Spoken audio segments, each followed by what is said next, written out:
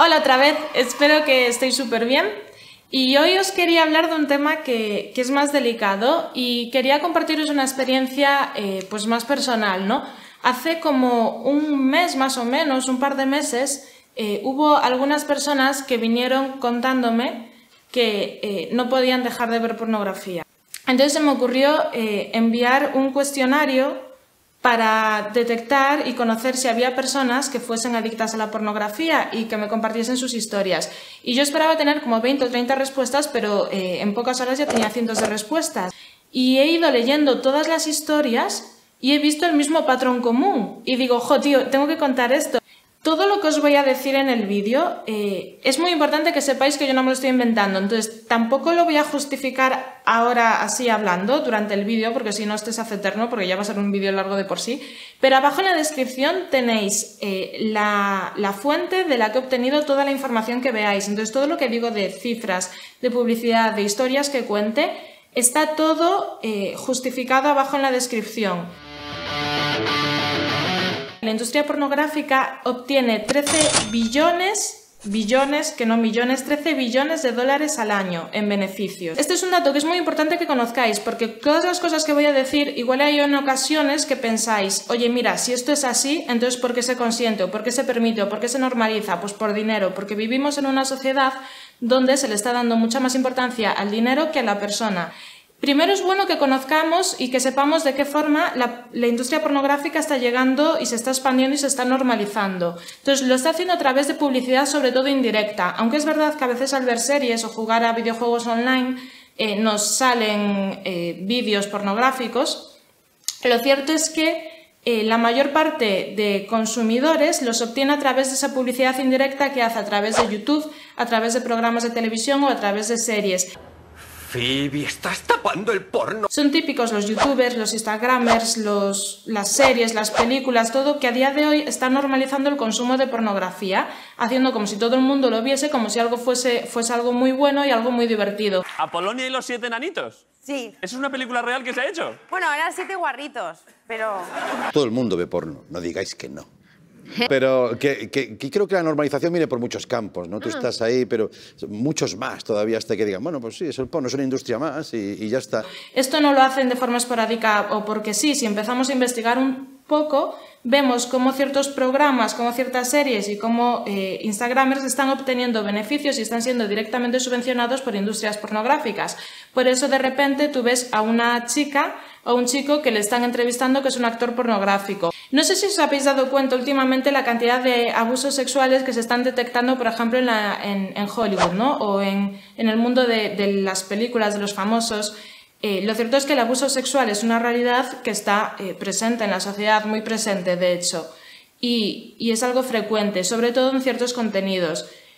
No sé si al mismo tiempo os dais cuenta de que no hay ninguna denuncia ni ningún caso abierto ni, se ha expuesto nada sobre abuso sexual dentro de la industria pornográfica. No sé si os dais cuenta de lo absurdo que es que una industria que se dedica a pagar a personas para tener relaciones sexuales no manifieste ningún tipo de abuso sexual. Entonces, esto es o porque no los hay, cosa que, que es imposible y que se sabe que es imposible, o es porque lo ocultan todo. Tenía que hacer lo que el productor quisiera y tenía que aceptarlo o no cobraba. A veces conseguías un bolo y el productor te cambiaba la escena que se suponía que íbamos a grabar para conseguir algo más intenso. Y de nuevo, si no te gustaba, pues peor para ti, o lo hacías o no cobrabas. Vino mi compañero, era alto, moreno y guapo. Me besó la mano y me dijo que era la clase de mujer con la que tendría hijos. Era muy sexy y con un encanto muy masculino. Nos separamos para ir a maquillaje. Cuando volví al set, mareada por las pastillas, la habitación estaba llena de gente. No puedo hacerlo, objeté. Dije que quería irme, pero las animadoras vinieron con fuerza. Sí que puedes, estás guapísima, vas a ser una estrella. Olvídate de que estamos aquí. Me encontré sentada en el sofá frente a todo el mundo. El resto de lo que recuerdo es lo que recordaría una víctima de violación. Él se sentó a horcajadas sobre mis hombros, me abofeteó con fuerza en la cara varias veces. Estaba muy sorprendida. El chico que acababa de conocer me estaba golpeando y nadie hizo nada. Rápidamente empezó a ahogarme mientras me arrancaba la ropa. El equipo a mi alrededor no lo detuvo cuando comencé a luchar contra él, literalmente agitando los puños y diciéndole que no. Mientras me arrancaba la ropa, me agredía y me insultaba, yo estaba furiosa y lloraba. Intenté hacer contacto visual con el productor y le rogué que se detuviera. Me asqueó verle disfrutar mientras abusaban de mí.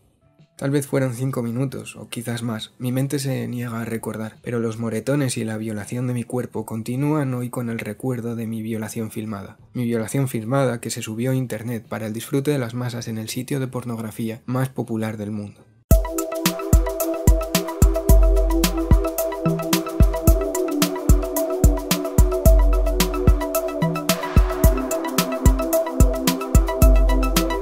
Cogíamos historias o nos las inventábamos y las contábamos de una forma más bonita, más atractiva. Y lo que hacíamos era básicamente negar abusos o convertir ciertas situaciones desagradables en algo aparentemente deseable para la actriz. Y todo eso lo escribía yo, por ejemplo, o gente como yo. Pero todo eso cambió cuando empecé a visitar rodajes de verdad y vi cómo se las gastaban ahí dentro y lo que había que soportar.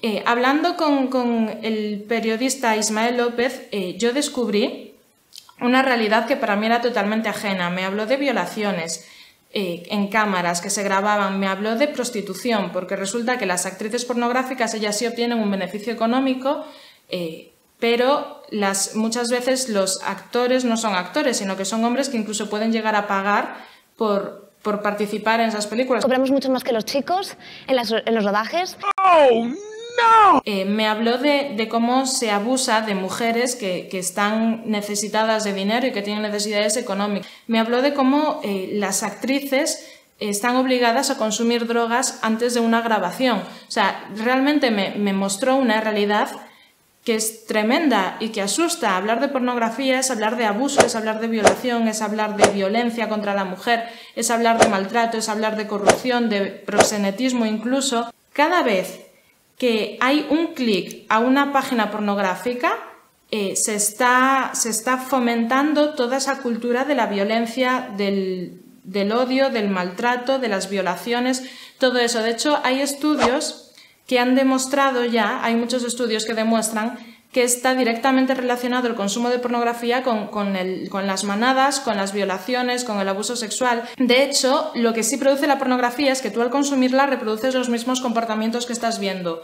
Con lo cual, las personas que consumen pornografía eh, son incapaces después de tener una relación sexual plena y sana con una, con una pareja normal porque lo que están haciendo es reproducir eso que han visto en una pantalla y el sexo que aparece en la pornografía no es sexo, ni es real. De hecho, si tú consumes pornografía, te leo la mente, tienes miedo de tener, si eres un chico, tienes miedo de no tener un pene lo suficientemente grande, de no aguantar el suficientemente tiempo teniendo una relación sexual, de tener eyaculación precoz, tienes miedo de tu capacidad sexual, de no, no poder proporcionar suficiente placer a una mujer cuando de hecho ni siquiera en la pornografía se ve cómo se, da placer a una mujer. Si, si, eres mujer, lo que, te, lo que suele pasar es que tienes, eh, desarrollas miedo a no tener el cuerpo que tienen esas personas, empiezas a autocosificarte, eh, intentas ser tú como las chicas que estás viendo, empiezas a pensar que el sexo es eso que ves, con lo cual piensas que la violencia es necesaria.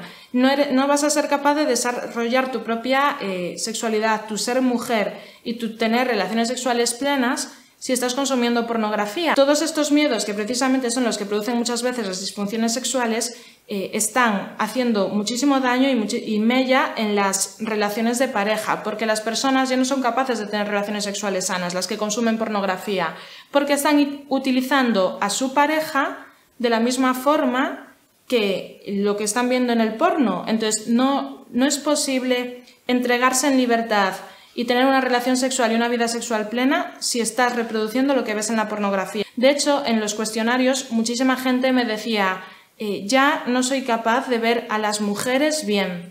Las veo como cosas, lo veo como a las actrices pornográficas. Si empiezas a consumir pornografía, vas a ver cómo poco a poco tu forma de ver a las mujeres, de ver a los hombres también, de ver el sexo se transforma. Cada vez te vas sintiendo más atrapado en eso y los pensamientos que tienes sobre la pornografía son más recurrentes, te vienen imágenes que has visto, tienes un impulso sexual más descontrolado y eso incluso te lleva a cosificar y utilizar otras personas. Es muy difícil tener una relación eh, de, de noviado, una relación de pareja, un matrimonio sano, consumiendo pornografía al mismo tiempo. No podemos olvidar tampoco que el 90% del contenido pornográfico que hay en Internet es de violencia hacia la mujer.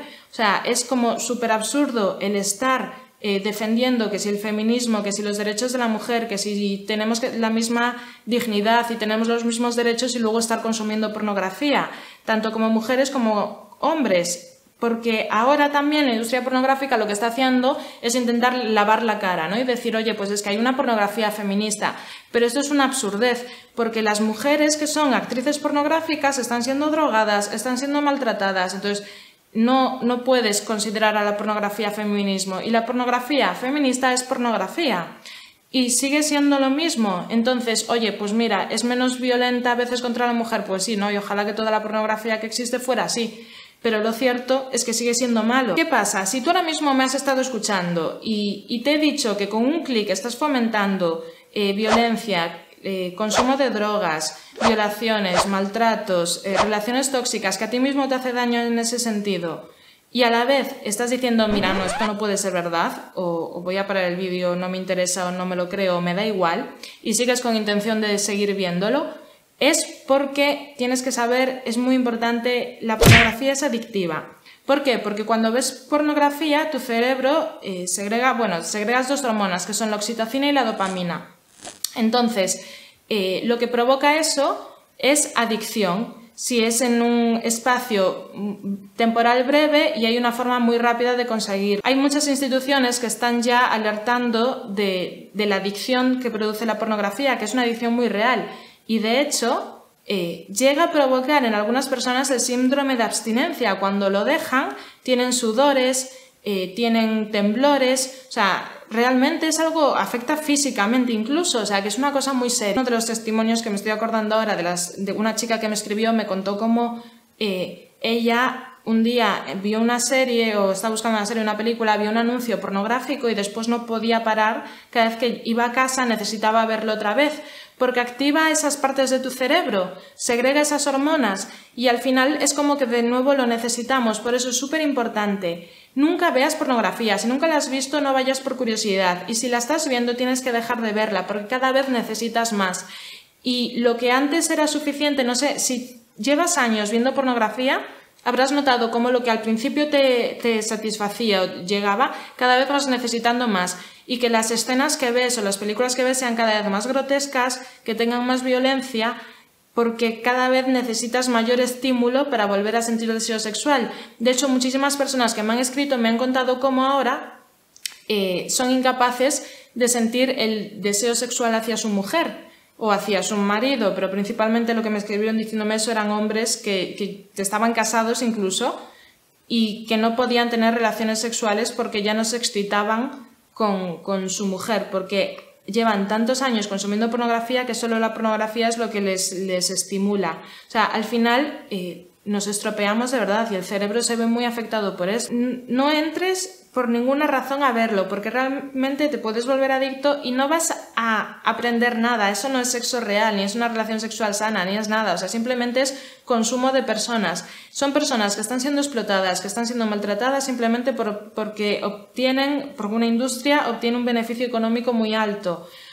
Eh, de verdad, o sea, hay que acabar ya con el tema del porno. Es que nos está estropeando, está estropeando a las personas, está haciendo mucho daño, valéis mucho más que eso. No vale la pena ver pornografía.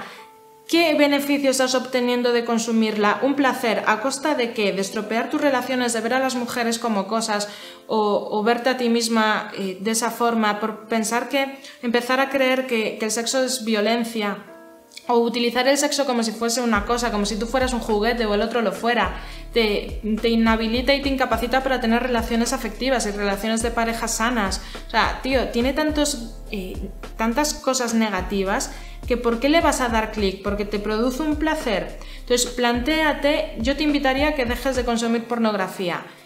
Y si, si en caso de que la consumas y eh, si ahora lo intentas, vas a averiguar cómo efectivamente es adictivo. Sobre todo por como estamos ahora encerrados en casa, pues no es fácil.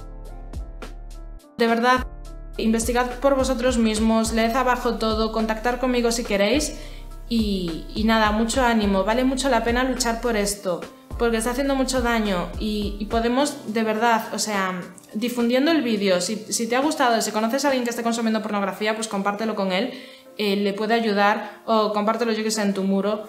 Eh, porque es muy importante que, luchemos con, contra esto, ¿vale? Entonces sí, es una empresa que gana 13 billones de dólares al año, pero nosotros somos más. Entonces vamos a luchar contra esto porque, porque no podemos dejar ni permitir que se exploten a las personas, así que comparte, dale like si te gustó y, y nos vemos en el próximo vídeo.